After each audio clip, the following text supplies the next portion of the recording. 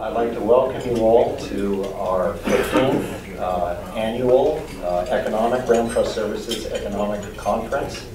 Obviously, the star, uh, as he has been for about 21 years, is uh, Dr. Woody Brock. Uh, very much welcome you, Woody, and look forward to your talk. Um, a couple of words about Woody, um, in case many of you have not heard this, uh, here it is again. Woody is the president and founder of Strategic Economic Decisions.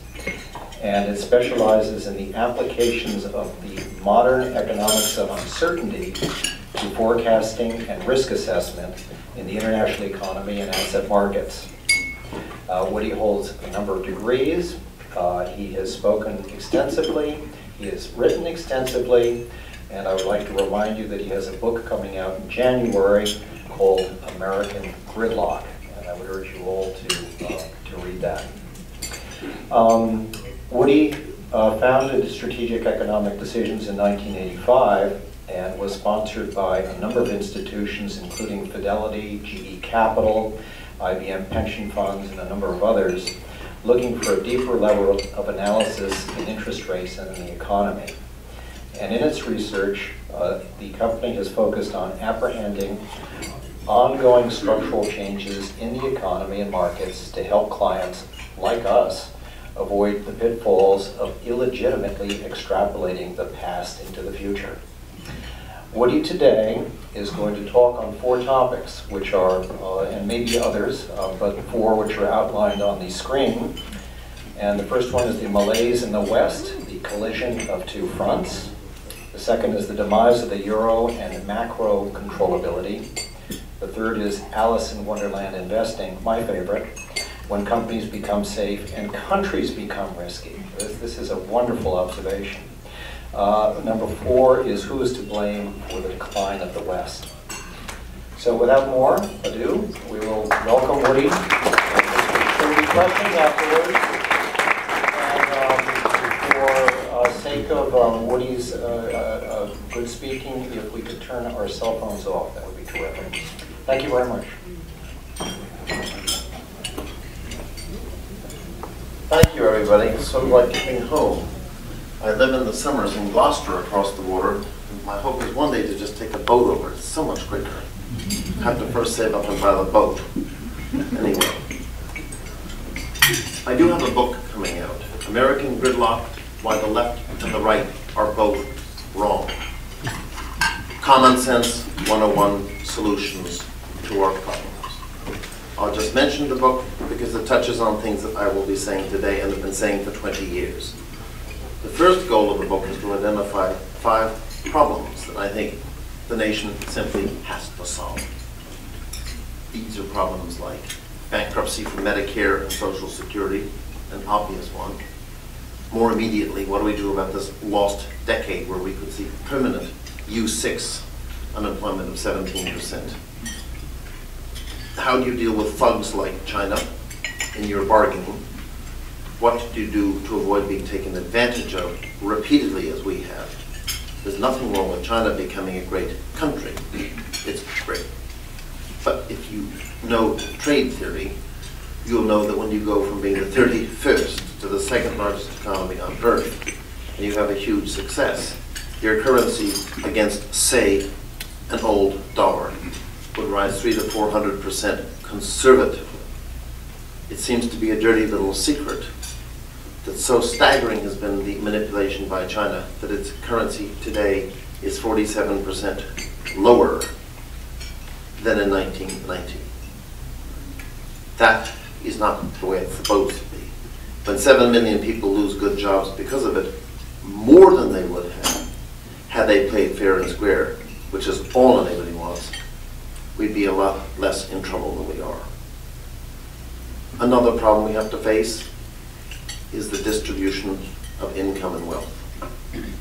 This is a very explosive topic. It is one that's completely misunderstood. Pure capitalism, by one of the most important theorems in the history of economic theory, in 1953 by the Nobel Kenneth Arrow, shows that true capitalist efficiency requires that everybody go to bed every night optimally hedged against all risks of every kind.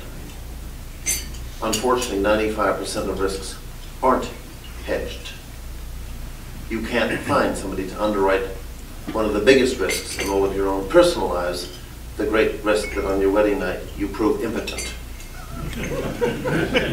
or that the value of your portfolio falls in half the day before you retire and annuitize it. Or about the value of your house. The fundamental theorem then says to the extent that we are not hedged, the resulting allocation is inefficient. The correct remedy is you use the income tax rate to serve as a surrogate for the fact that the lucky who win big and did not have insurance, so that they did not have to pay back big, will then end up much less risk rich than they would have had you had true capitalism. Now, I'm not going to go into this now. It's very disturbing to people. We'll talk a little bit about this when we talk about who's to blame for applying to the risks. The point I'm simply making is we cannot go on the way we are, where indeed a Warren Buffett pays half the tax rate of his receptionist. It's simply not appropriate. And neither the left adopts it nor the right as a subject worth real discussion. The litmus test today is very simply, do you want the Bush tax cuts back or not? The right says we do not want to give them up. The left says we must give them up and tax the rich more.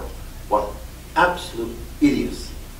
Does anyone think that the tax rates before or after Bush have anything to do with what is correct or ideal or fair? No, they don't. But that's the level of shallowness of our discourse. And I think there's another problem. The second goal of the book is to show you how you can arrive at solutions to all these problems using higher order deductive logic. We live in a world of a screaming dialogue of the deaf. The left wing hires left wing think tanks to cherry pick new data to support its left wing views. The right wing does exactly the same. Induction, which is the process of using data to make inferences and arrive at policies, simply isn't very good. All important advances in science, not maybe all, but most, game theory, supply-demand theory, Newton's laws, Einstein's laws, Galois theory, whatever, came from very smart people laying down axioms in their bathtubs and deducing F equals ma.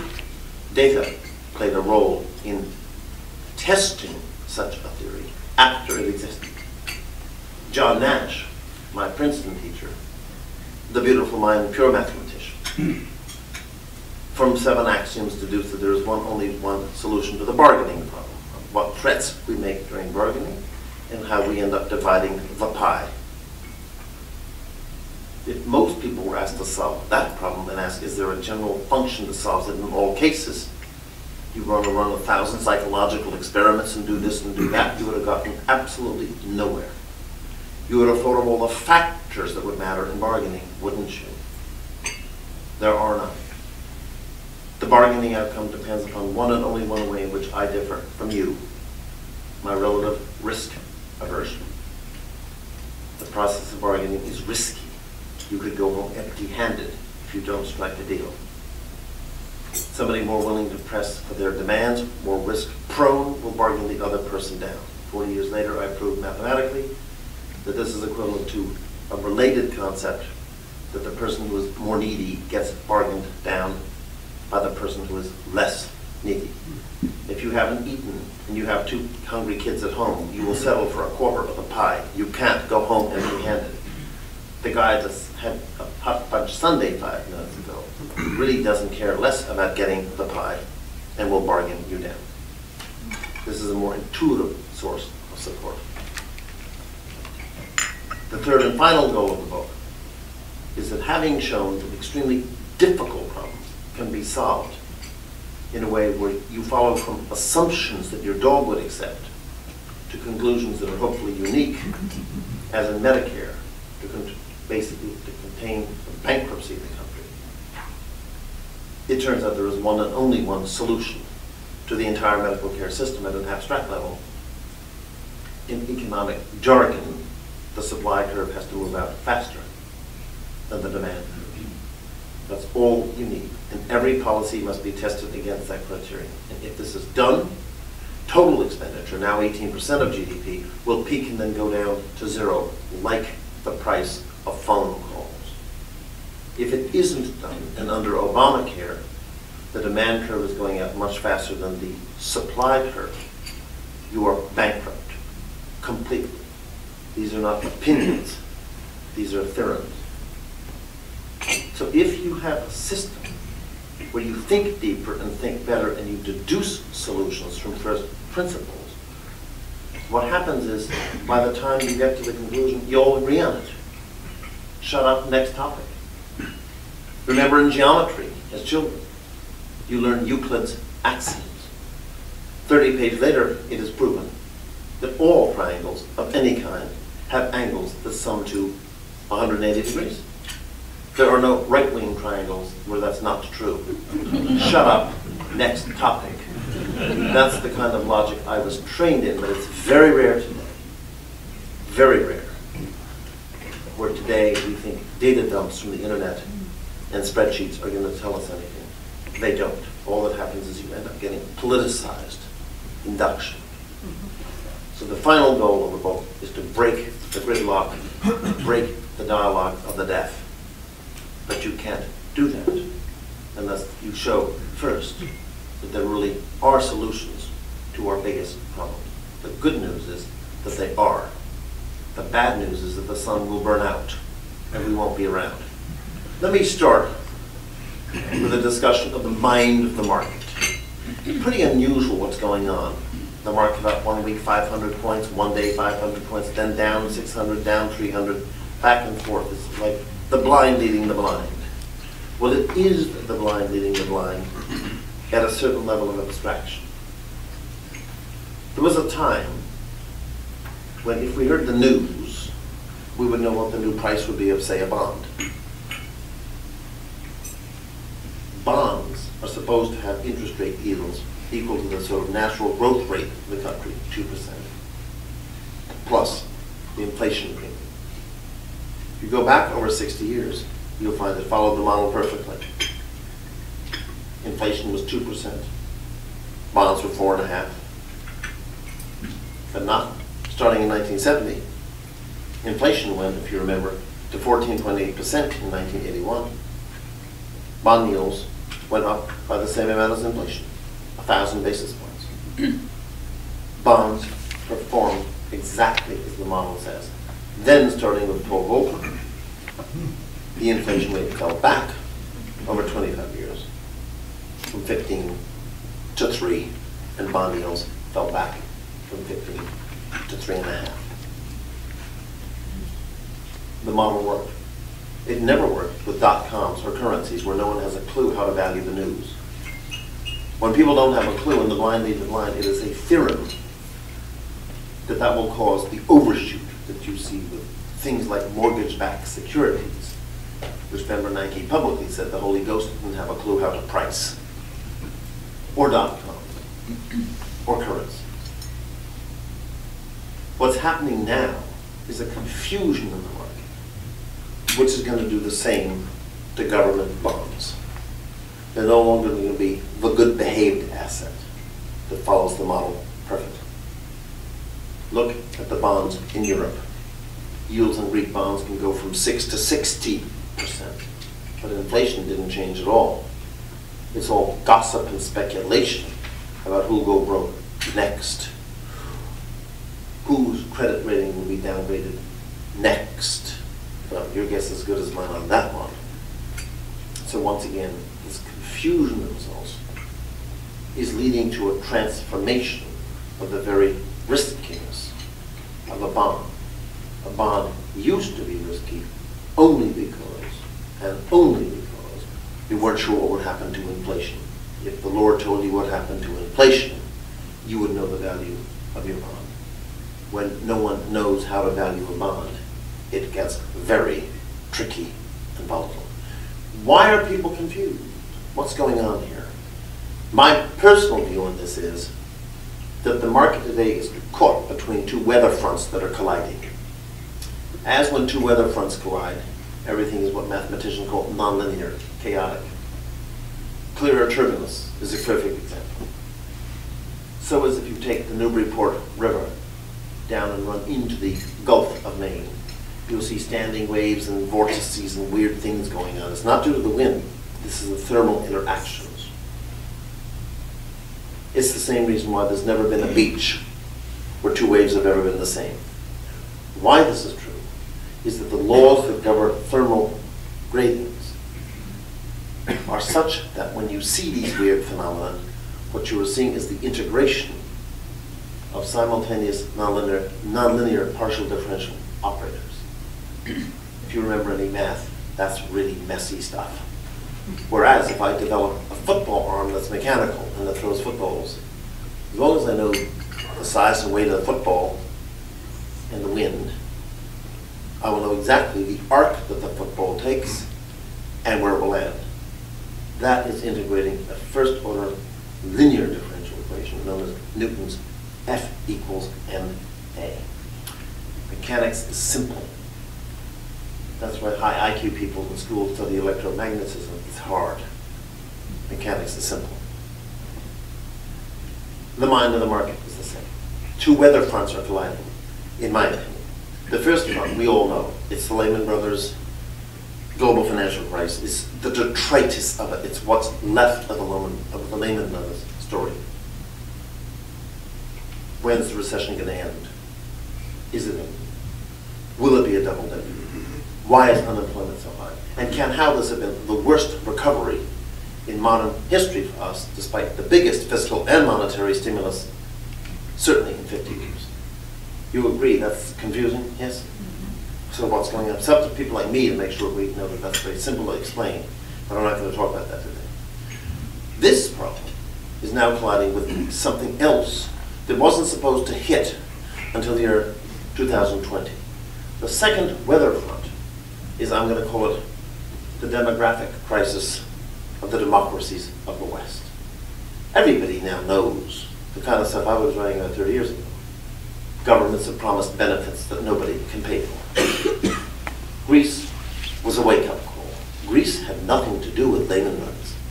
Greece had to do with governments that overpromised retirement ages and benefits and ran out of money. It's broke. If you didn't know it, Germany is broke. Their entire welfare system is unfunded. They pay as you go. France is shallow. Italy, gone. Spain, Portugal, whatever. Right. Everybody knew this was happening. It took Meredith Whitney to remind us that 100 cities are going broke, so that my parents' strategy of what to do when you get old and be safe of buying municipal bonds, when that's what they all did back then, you wouldn't touch them. I won't. Because I know that when push comes to shove, my dedicated revenue bonds will find that their revenues are taken and put into a quote, special facility where the police and firemen's unions will determine how much I get left. Anyone who doubts me, take a good hard look at what happened to contract law with the bankruptcy of the General Motors. Don't look too hard. There was no law and order. The unions took it. They had the power with Obama to get it. Things are changing. The old age story was dragged from starting around 2020 to now by the Greek crisis and the contagion that followed. We can no longer think we can wait and kick the can down the alley until that period. Let me repeat. The European events that have taken the second weather front and shifted it forward to today all those issues of the bankruptcy of the welfare state. Now, in America, we haven't had that problem yet. But we had something else bring that second storm back to today, and that was the Tea Party. The Tea Party, interestingly, is very easy to laugh at. I think the New York Times deigned to call them trailer trash. Maybe they use the word smelly to boot. But they aren't very smart. They not only haven't been to but couldn't spell Renaissance Weekend. But that's where you're supposed to go on your spare weekends if you're Hillary Clinton. You network with smart Ivy League people. All of us are privileged. The privileged elites got it all wrong. They still don't get it. The Tea Party was right. The SS Welfare State Express, whether it's Greece, Sacramento, Washington, or New York City, is a train careening downhill with nobody in charge, and it's really bad. And that's a subject I know lots about. But I wrote about this first in 1981. It was all easy to see these demographic things are long run. So, here we are. The Tea Party's view was this is so serious, we're not going to allow debt ceilings to rise or anything to happen until somebody does something about the problem of an out of control, bankrupt government. It's absolutely no different than any other Western countries. It's just a matter of when. I was just down in Australia. They have the least problems. Because they had problems in 1980 went bust. And then Hawke and Keating's two successive prime ministers fixed it. And they have a social security surplus. They're just great in Australia. Plus they've got China and everything else. They're the happiest country, followed by Switzerland. Greece is at the bottom. We're all in between.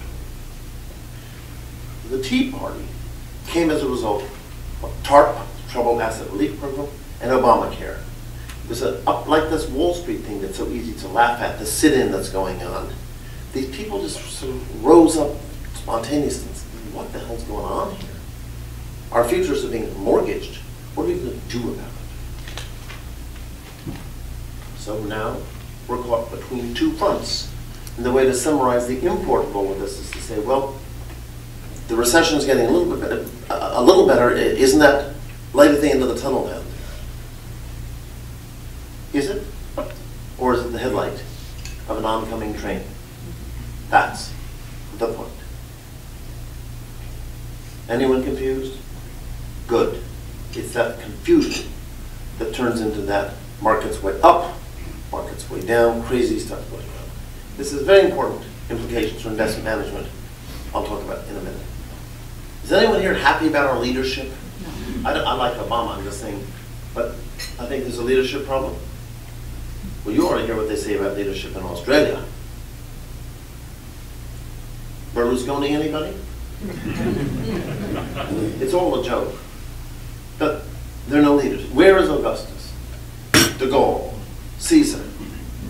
Where are the leaders?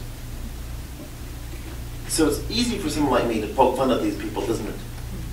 But you see, that's not epistemologically legitimate. Let me tell you why. One of the great discoveries of historiography and sociology is that if you take any population anywhere, the distribution of human types is an invariant, as is the speed of light. It's the same. The proportion of good guys and bad guys, leaders, non-leaders, funny guys, self-important people, it's always been the same.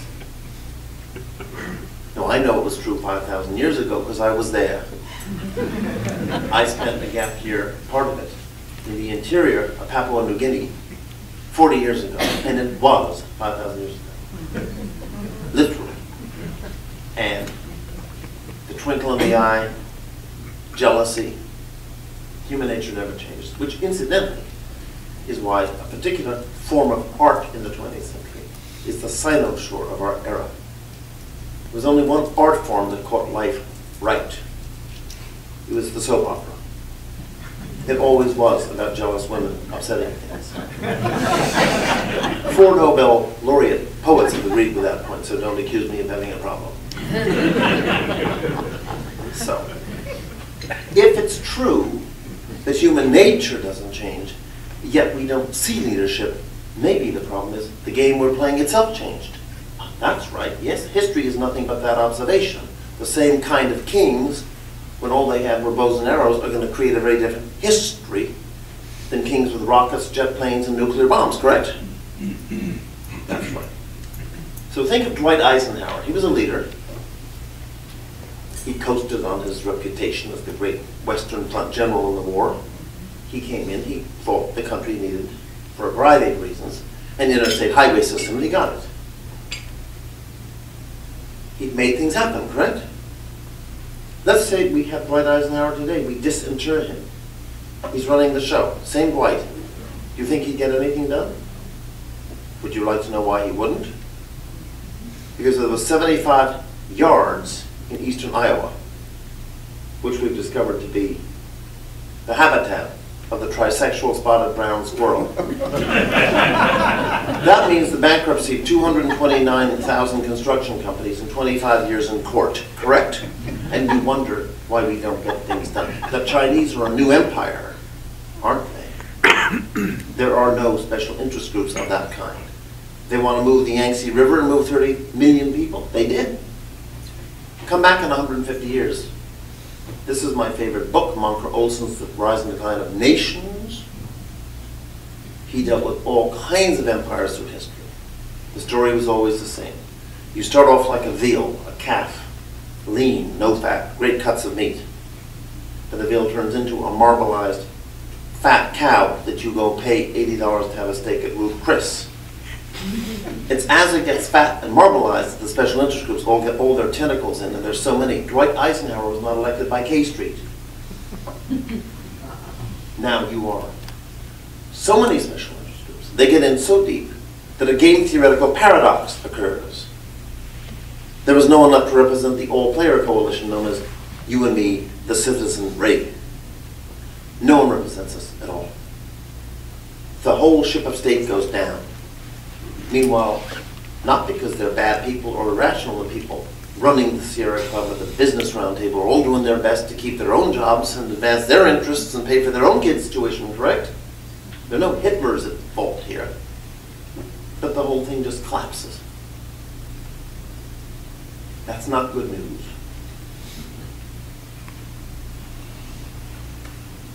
Let me move to the euro. Without apology, this is a very complicated subject. All I'm going to do is try to give you two very different perspectives on it. But do not kid yourself. It is the crisis of the earth right now. If it goes bad and there's a panic in Europe and the euro goes down, UBS has said you could face a 28% drop in OECD output. That's a great depression everywhere. If it all goes right and the euro is just fine, you get no dividend at all. You just get the status quo we already have enjoyed. So this is really a downside risk story, which I'll talk about after clarifying the very fundamental question that is not being asked at all, which is, is the euro good or bad? The public discussion today simply says, we gotta save the euro, can it be saved? We have to save the euro to save the banks. Sound familiar? We have to save the euro so that West Landesbank doesn't go under. Excuse me? Who gives a flying whatever about West Landesbank? Doesn't anyone care about the well-being of 17 populations affected? See, economics is about which policy A or B is good compared to the other. More analytically, which policy maximizes the greatest good for the greatest number. Not what's good for Germany, not what's good for the banks, but simply what's good for everybody. That's what we do. It's like everybody has a vote. Is zero good or not? Let me answer that question. Then the question of, given that we have the euro, what's required to prevent the crisis? To understand the euro, have to understand a little bit of economic theory, the concept of controllability. It's simple. Tinbergen was the first man to ever get the Nobel Prize in economics in history. He proved in 1953 some things that made it possible to have modern macroeconomics of the kind that Jack Kennedy first applied. Keynes had all the ideas. Keynes did not have the ability to know how you turn which knobs, when, and why, in trying to do a good job returning the economy to full employment and price. Tinbergen figured it out. To be fair to Keynes, the mathematics needed to do this, known as optimal control theory, was invented in 1948 and 49 in Russia and in California. It wasn't available to Keynes writing his general theory in 1937. One of the things you find is whether you're running a rocket ship or an economy, it's a general principle of dynamical systems that if you have end goals, you have to have at least n independent knobs on the dashboard that you can tweak to achieve your n goals.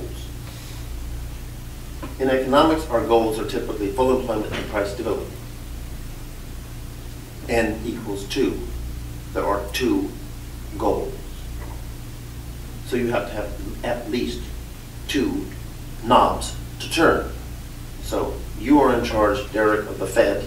You can raise and lower interest rates. And Bob, you are in charge of the fiscal structure. And you can raise and lower government deficits. You can do yours in your direction and yours in yours. They're independent of each other. Does everyone see it? Now, it would be nice to have 14 knobs you can fine tune. It means when you land on the moon, it's much more smooth than having just two. It's a bit of a bumpy landing. But if you don't have enough, you miss the moon, go to Mars, and never come back. This is called controllability. It is the absolute key to understanding the euro. Now, I was present at the creation of the euro because I was in the Davos faculty from 88 to 94 when it was all conceived by a man named Jacques Delors. The euro, regardless of what I'm about to say, has obvious benefits. And incidentally, no one ever thought that his euro would ever happen. By 1997, it had become a political project. We'll become the United States of Europe, and you couldn't stop it. There are many people who question it. I think it's done darn a good job. You have Polish plumbers, problem. They all seem to work in London, which is not part of Europe, euro, but that's all right. You have one passport, one zone, no boundaries, no exchange rates. Europe's done a lot of good, absolutely. The question is, what isn't good? Here we have the difficult news. This is the important. This is what's happening today. Up top, we have the Europe before the 17 now members of the euro joined the euro. And all these different countries. It was a bit of a pain. There were so many exchange rates. But every country had the same goals of apple pie and motherhood, correct? Full employment, price stability, and proper trade balance. Yes? And every country could change its currency, its interest rate, its fiscal deficit to adapt to the speed bumps that came. Yes? You had complete controllability for all 17 countries. Government could serve its people by adapting to a shock. Then you join the euro. At midnight, Jack the Ripper comes out with a scythe, and three of the four knobs are sliced off the dashboard. So now there's going to be only one interest rate, at least on the short end of the yield curve, one currency, and one money. If Jack had been German, not English, I suspect the third knob would have been sliced off as well. Now this is terrible. This means not even Germany. Nobody has controllability anymore. Is that clear? No one has enough degrees of freedom. But is that bad? This is the important answer. Suppose you do a correlation analysis of the GDPs for 30 years of all the countries. France, Spain, Spain, Italy, Italy, Greece, Greece, France, da, da, da, If you have 17 the euro, 17 times 16 divided by 2 is the number of pairs. So let's just study how correlated their GDPs are. And the answer is, let's say we find out that every single number is 1.0. That is, for every pair of economies, their GDP swing perfectly in sync. What? Who cares about controllability? There'll be one setting of the knobs that's good for everybody. What's good for any goose is good for any gander. Correct? No problem. Euro's perfect. But let's see what happened in reality. In reality, the average correlation has been about 0.56, 0.58. Now, that's a way of saying they swing somewhat together, not in unison. But the problem is, we're all wearing one tuxedo of one size. It would have fit all of us perfectly if we're identical. But now that I've gotten fat and you've gotten thin, you look a bit baggy and I'm stretched, beginning to be a little bit uncomfortable. Because we all have to live with one setting of the knobs. But this, when I was introduced, you heard I said that you don't want to extrapolate the future extrapolate the past into the future, you have to think twice. So what I want you to do is ask the question, pretend we keep the euro, you go to sleep, you know the euro's there, you wake up in 2020. Now, what's the correlation going to have been between 2007 and 2020? Between two blocks, the periphery, six countries, and the 11 solid countries. Are they going to swing together or opposite? Anyone have any intuition? Well, let's take the last four years. That's 16 quarters of data. Hmm? Minus 0.2. If the economies are even down to 0.3, God forbid zero or minus 0.3, you don't even want to be there. It means you are condemning to a 40% unemployment rate the young people of six countries. Excuse me, what the hell is going on? That is not good for people, even if it saves West Landesbank balance. So the fundamental graph, theoretically here, is this one. I'm going to stand away from the light. On this vertical axis, we have the degree of correlation. Pi means 1.0, everyone's perfectly correlated. Then you have a zero, you're completely independent. And then I guess you go up to where everyone swings oppositely. I don't think that's mathematically possible, but forget that embarrassment. On this axis, you measure the welfare cost in terms of human happiness of the price of not being able to respond, the price of non-controllability. If you're down here on this axis and everybody swings together, as I've already said, on this axis, you're near zero two, there's no cost. Because the optimal thing for Germany is the optimal setting for Greece, yes? But the more you go this way, towards less and less correlation, boy, are people miserable.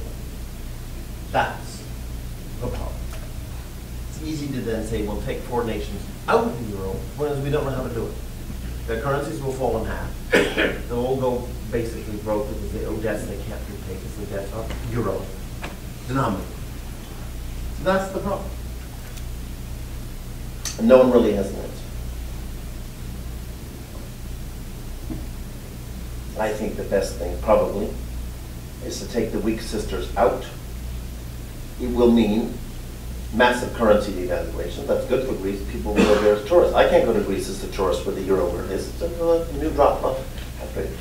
And of course, the terrible thing then is they can't pay back their bank loans, which are euro denominated, because you've now doubled your amount of loans if your own currency has fallen in half. So what, quote, the authorities in the larger West must do is to say, we will take care of that. We will settle your debts. We will restructure your bank, but we will do nothing unless you start paying your taxes and getting your act together. We exact the price of structural reform in order to permit them to get out from under their debt loads and to have an ongoing cheap currency so Woody comes and buys its goods and services. Then you say to the remaining people, we're going to back you to the yazoo. We're going to have a four or five trillion dollar facility to be sure that no one attacks the currencies anymore, that no one pulls these things. You are ring fenced in the true sense of. Now, the thinking is moving in this direction, but it's not there yet. Tentatively, everybody wants to save the whole euro. I mean, Greece just cannot be saved. That's. To wrap this somewhat technical discussion up, there's a final slide. Now we move to a new question. Is there going to be a crisis or not? For this, I use a simple Harvard Business School event tree. I find these very useful. They make use of something known as the concept of the monotonic ordering of causal relationships. Let's take all the variables and make a path of all the best outcomes. We don't have a recession, a non-euro recession. We don't have a double dip. The authorities act fast. The central bank, European governments, and Christine Lagarde at the International Monetary Fund are completely unified, and when they act, they act big. The bailout fund isn't some wimpy five hundred billion in a fifteen trillion economy, rather it's a good five trillion. So the markets know no one's gonna screw with us. You diffuse contagion in advance. If all these wonderful things happen, you don't have any hit. You continue with two percent GDP growth for the OECD. Not much of an upside. This is all a downside story.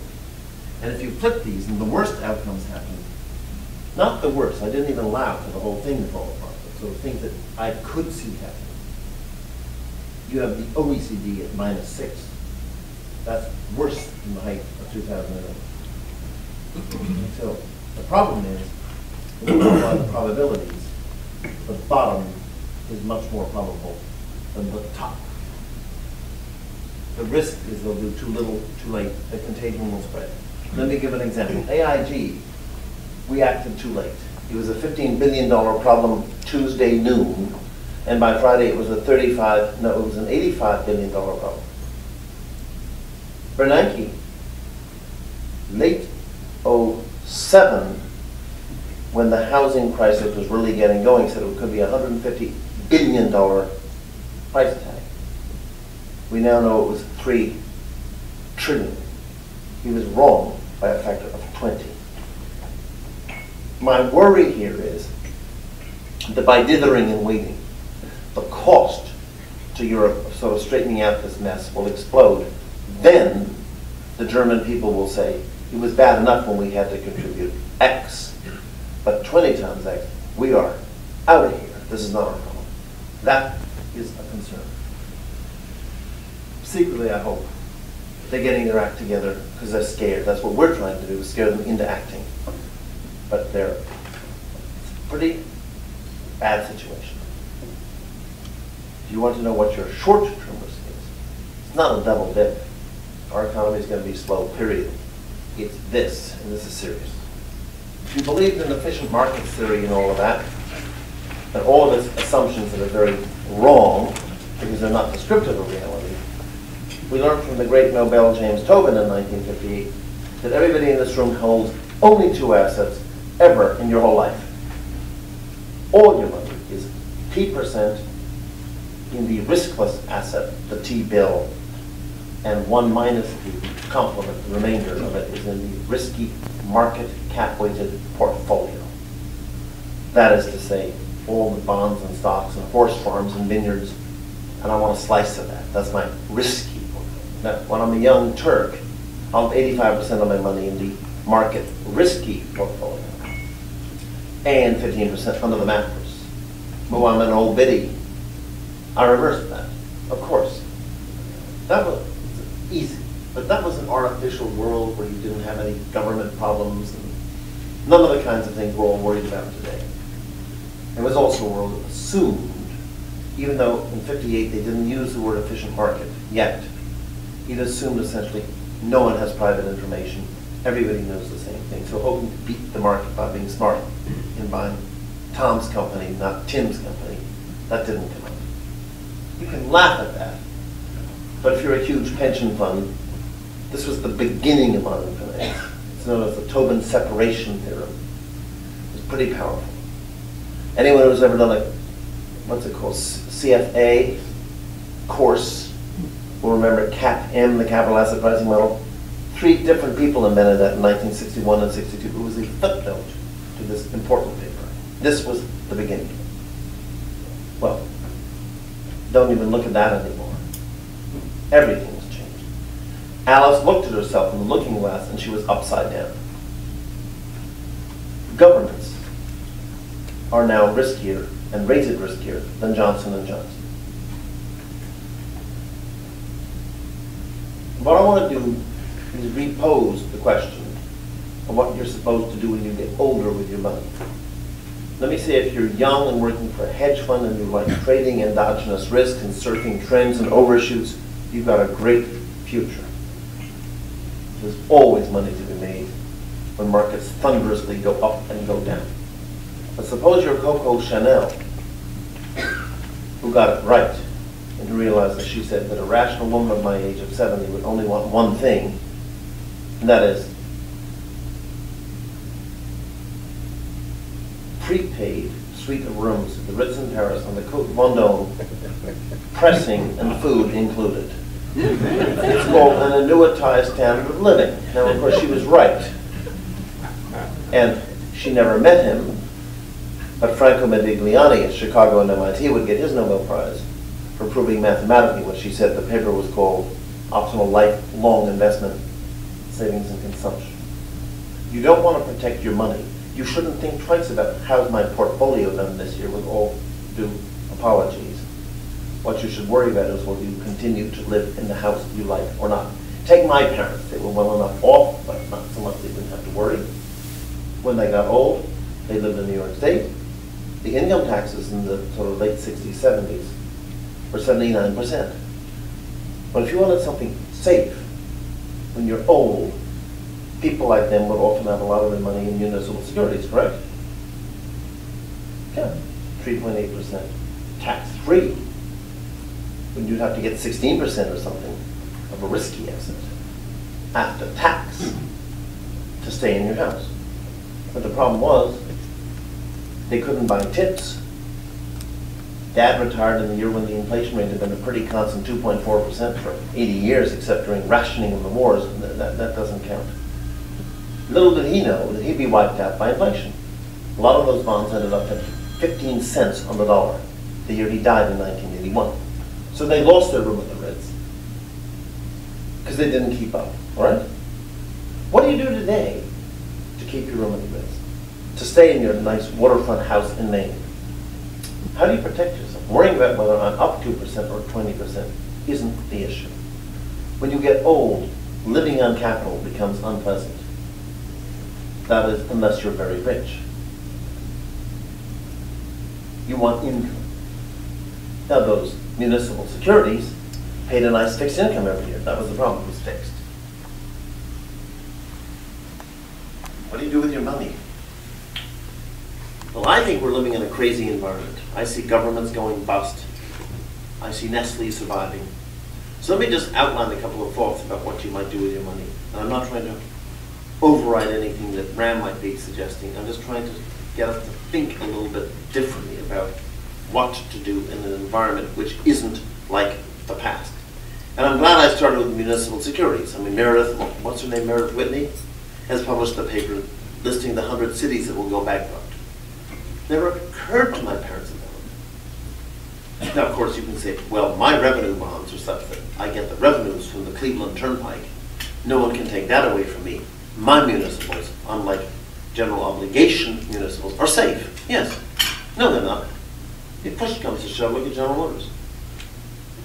The state will take all the revenues and put it into a special holding tank. A facility will be the polite word. And the labor unions will determine after the policemen get $400,000 a year benefits paid for, how much you get left over. No, I don't trust any of this anymore. I know too much about it. So what do I put my money into? Now we're going to become axiomatic and deductive again. We're going to go high IQ. What properties must my assets have? I want them to have the properties of optionality and incentive structure compatibility. It's a bunch of jargon, but let me explain how worth it it is. All optionality means is that you can, when I invest in something, its management can move from whether weather gets bad to whether weather is good. So Bob is in charge as senior VP of South Asia for. Bob knows what's going on. He sees a bad anti-business government coming into Delhi. He sees Ceylon opening up with a very pro-business environment. So he moves labor and capital from where the weather is getting bad to where the weather is getting good, correct? I mean, optionality, anybody wants that. That's apple pie, yes? He can move. The second question is, what is his incentive? Suppose his wife loves the house in Hyderabad and doesn't want to move. Well, then Nestle has a policy. Thank you very much. You're fired. It's almost Donald Trump. All right. So Bob's not going to say, no, he will move. The incentive structure within these companies, the John Deere's, the Three M's, the Nestle's, the Oreos, is such that you move to where the weather is good and you seize on it. But I, as the investor in Nestle, and why am I investing? To make some money? So it's good for me to know that the people, you who make the money in Nestle's, have an incentive to make money by moving to where the weather is good. Does everybody get it? My incentive lines up with yours. The incentives are compatible. You may think this is obvious. Excuse me. Think of the government. Does the US government have optionality? Or are they chained to their ever-aging demanding populations? There is no Ceylon to go to. As far as their incentive is to get reelected, and you do that by kicking the can down the alley, cooking the books, lying and cheating. It's not that they're bad people, they are not. It's that the system is such that if Millie doesn't promise more benefits, I will. If I don't promise more benefits, she will. So it's a gentleman's agreement. Election after election after election, more benefits, more this, more that. The future is bankrupt. It's not due to bad people. It's a systemic problem. It can only be changed by fundamental constitutional changes, preventing government from mortgaging our children's future. That's what's needed. We need political theory. We don't need macroeconomics. The great questions today have nothing to do with economics. That is why my economics friends are so boring. They don't ask the right questions and they are incapable of presenting the right answers, including Larry Summers at Harvard, who is smart enough to know that. The problem of political philosophy is a moribund discipline that morphed into the history of what Rousseau thought. Well, we've got to bring it back to life, the way Mancur Olson did in his Rise and Decline of. There's a few people. Now, not only do I want optionality and I want a good incentive system. Remember, I'm, I want dividends or interest or something to keep me in my room at the Ritz. I have another problem. Now, this is a real problem. I gotta protect myself against inflation and deflation. Now, that's another talk for another day. Inflation is a very complicated topic, to say the least. We don't think it is, but it is. And remember, gold bugs have been largely wrong throughout history in their bets. And deflations happen far more than they're supposed to, since, oh, it's so easy, we'll just print our way out of it. No, you won't print your way out of it because the bond market will eat you alive and high long-term interest rates will be such that you won't build one new house, one shopping center, or one plant. The conceit the government can just print when everyone knows what they're doing is wrong. Ask the Greeks. Ask the Portuguese. The central bank cannot control the bond yield. It can control only the overnight money rate, the Fed's funds rate. Inflation can happen. It's easy to do it. It may not be very good to do it, but they can do it. Oh, they can print money. And of course, we all know they have been printing masses of money. It's called QE1 and QE2, $2 trillion of assets the Fed bought in, correct? And to, to buy those assets in, all those mortgage backs and government, how does the Fed pay for that? Can I hear the word? Begins with a P? Print. Print. There's only one problem. The Fed doesn't print money. Ever. Zimbabwe printed money. That's why you find $100 million bonds sold at Schiphol Airport from the Reserve Bank of Australia or Weimar, Germany.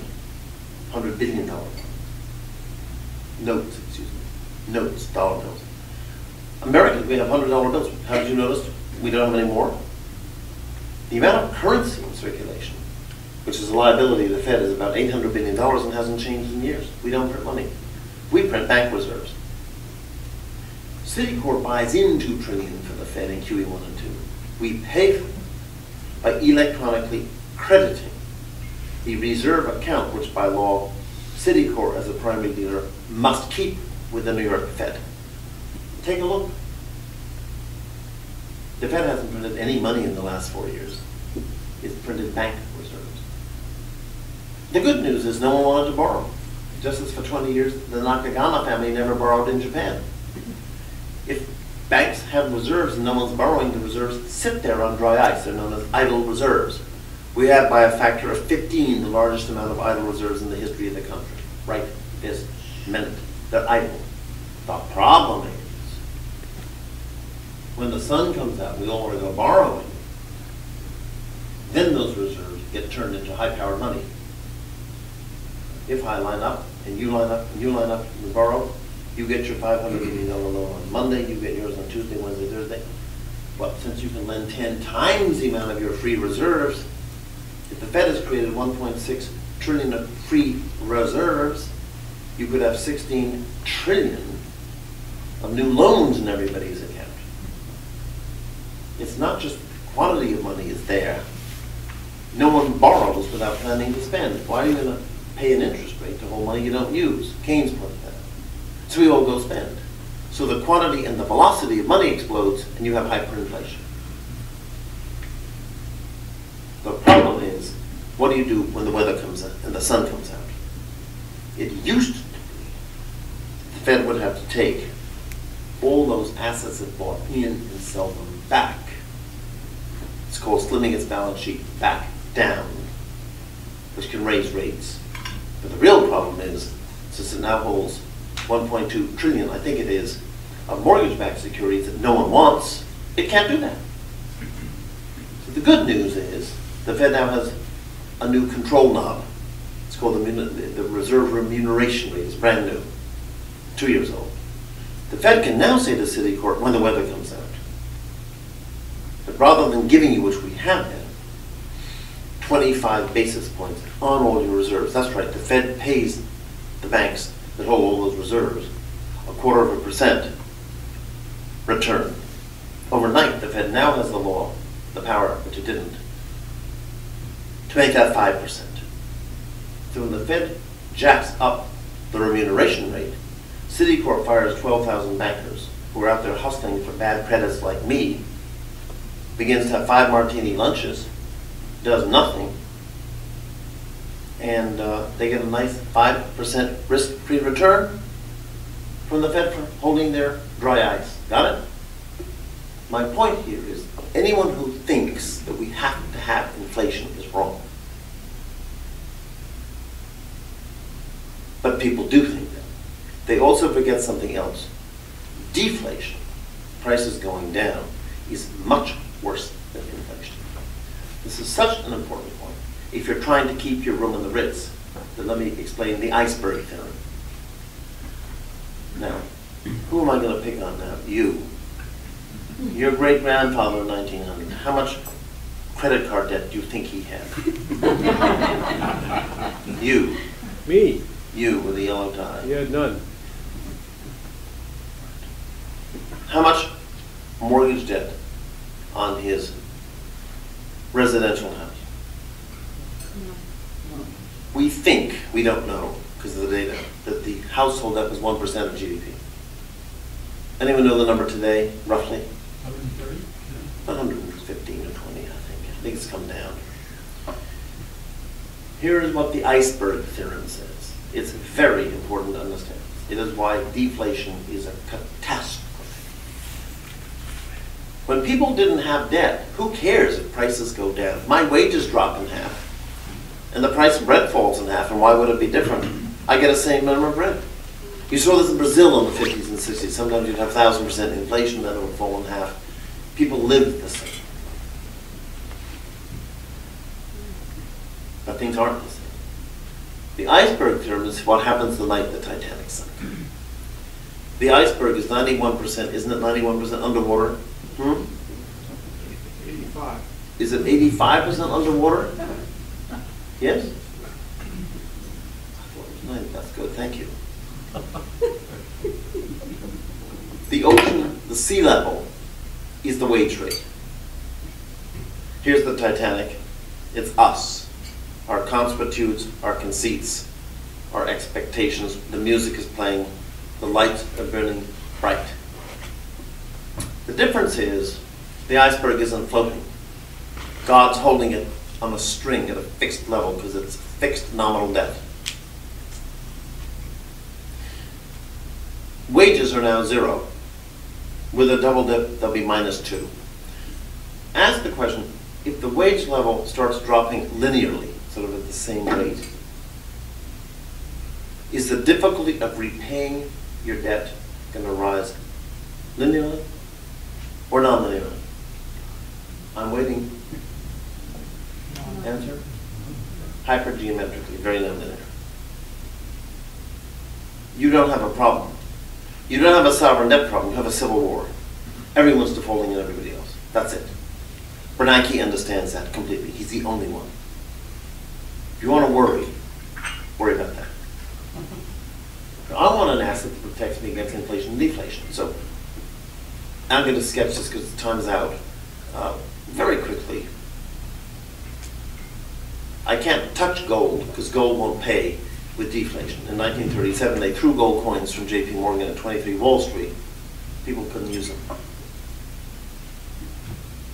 Gold's good in inflation.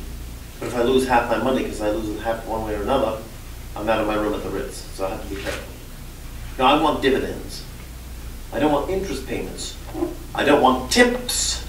The Greek bonds dropped 90% in value, but TIPS wouldn't have helped because inflation didn't go up. Does everyone understand that? Inflation didn't go up, so TIPS don't work. Corporate bonds have no TIPS, I don't want them. What do I want? I want income to pay my rent. I want income that keeps up with the rent. Nestle, L'Oreal, etc. I want to take the big companies that are incidentally making all their money not in the US anymore, it was just with 3M. It's all coming from overseas. They're smart. They can move to where the weather is good, and they did. But I want to partition the set of such stocks into two groups. Companies with a lot of debt and companies that are debt light. And this is a very important point. When companies have a lot of debt, they have creditors, yes? And when bad times come, what does the creditor tell you to do with the dividend? Please? Stop it. You have no more income to pay your room, you're out of your room at the Ritz. But the companies that don't have creditors cut their dividend at the same rate as the Ritz cuts the rent on the room. You keep your room at the Ritz. This is a very new era to even be thinking of crazy things like this, but they're pretty common commonsensical. So I think we have to go back 50 years, as Peter Bernstein would say, to when dividends are what it was all about, for a variety of reasons. And dividend was a dirty word for the past 35 years. It was all a game about my market value going from 10 to 70 million. Jack Welch was great. He, he, he was like a Stephen Jobs. He jacked the PE of General Electric from 9 to 60. He was a showman. It was great. He cooked the books, asked his successor. Great guy. Our portfolios went way up and then way down. Well, when I'm old, I don't want portfolio. But actually, I don't mind fluctuations in my wealth as long as I know my income in real terms is secure. I think for many people, very rich people shouldn't even listen to what I'm saying. They can have it both ways. I'm talking about just keeping your room till you're dead. Now, last, and then we're finished, this issue of who's to blame. In my book, I have to deal with this, because the book is all about why the left and right are both wrong. Very simply, on the left, the blame is that of liberals, and there are a number in this room. A liberal is a phony liberal. Somebody who's very much for the average people who can't wait to tell you how he or she voted Democratic. I mean, can you imagine voting for those troglodytes of the Republican Party? A liberal celebrates his or her humanity in liberalism. And a liberal is defined as phony liberal, as I believe a man is as good as a woman. I believe a black person is as good as a white person. I believe a straight person is as good as a gay person. But I believe if you retire in the next generation, you're one sixth as good as I am, I'm going to hose you through the wall. I'm a pederast. My family got Social Security of their lifetime back in 2.6 years. Their lifelong contributions, their grandchildren will get it back in maybe 26 or 27 years. Divide the two, and I don't know what you get. An eight to one intergenerational screw you ratio, as I call it in the New York Times. Thirty years ago, I was thinking about these things when it all came true. right? Now, if you're really a liberal, you say, excuse me, we're gonna treat all cohorts of old people the same. Everybody will have the same give-get ratio, yes? We have not done that. We have hosed our children's future. State governments are doubling tuition in two years. Kids can't even pay their ridiculous college loans. They're not gonna pay. it. But don't think that Eric Desiderata, that man in Houston, didn't finally get his $2.8 million operation at age 92. He'd been a fireman. He had a self-esteem crisis, and they convinced him that if he had a sex change, he'd be happy once again. So he had it at your expense. You don't read too much about that.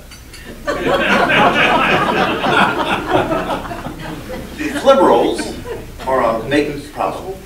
Now we come to conservatives. The great problem with conservatives is that essentially they think they deserve their good luck. Anyone who's rich who thinks it's because you're smart, as my billionaire friend Terry Packer told me, well, when you meet someone who thinks he deserves his success, he politely said he's been a real jerk. It's not even an opinion. Read anybody who's done well. Bill Gates, Wilt Chamberlain. Wilt Chamberlain's coach fell in love with him. He got a boost. He didn't break his ankle when he could. By the fundamental theorem of Kenneth Arrow of 1953, capitalism requires you are hedged against every risk. Let me give an example of how powerful this is to understand taxation and the distribution of wealth. And I know this is a real no-no subject. So of course it was made for me. so, here we go. I'm a writer. I'm a good writer. They all tell me that. I've written six books, all reviewed by the New York Times. You are a good author. You also, just like me, same age, same number of books, same reviews, we're identical. We're about to come out with a new book. We keep hoping one of us will make the bestseller list and get rich, yes?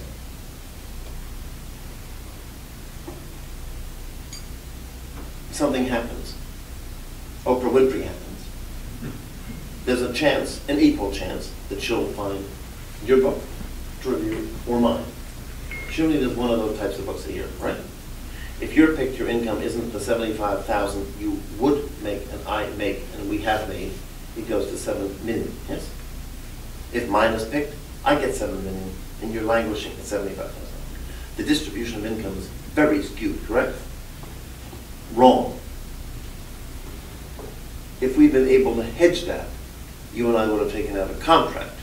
And assuming we have the same attitude towards risk, we face the same probability of Oprah noticing me versus her, the result would then be we would rationally sign a contract, an insurance contract, as you all do to protect your art collections and your houses, whereby if your house burns down, I pay you and vice versa. And our contract would be, if I'm the lucky one, we'll split the money in half. And if you're the lucky one, we'll split the money in half. And the distribution of wealth under true capitalism is flat. So we live in a world where since 95% of risks can't be hedged, the lucky just love the fact that they were lucky, never had to ante up their insurance payments. This can be used to justify a very progressive tax system. It's known as the missing markets theorem. This has nothing to do with feeling I'm being asked to help the needy. Wrong. That's another reason, going back to the utilitarians, why the rich pay a higher percentage tax than before. These are basic points. No one discusses them. But now you have this revulsion in Warren Buffett having tax, half the tax rate of his receptionist.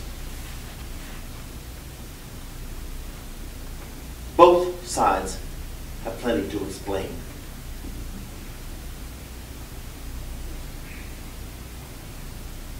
the movement on Wall Street to occupy. Again, you can laugh at those ridiculous people. They don't really know what they're doing. Yes, they do. And it's growing for a reason. It's growing for a reason. People all over know the system is front-loaded to favor the finance industry, which itself is a disgrace. People are tired of it. They don't like it. These are well-meaning people. These are not people who want to get rid of the banks or anything. These are people who want the system so that at least it's played fairly. If you listen to this, it's very interesting what's happening. So that's the end of my talk today. I tried to suggest that here there's blame on both sides. Everybody wants an investment tip.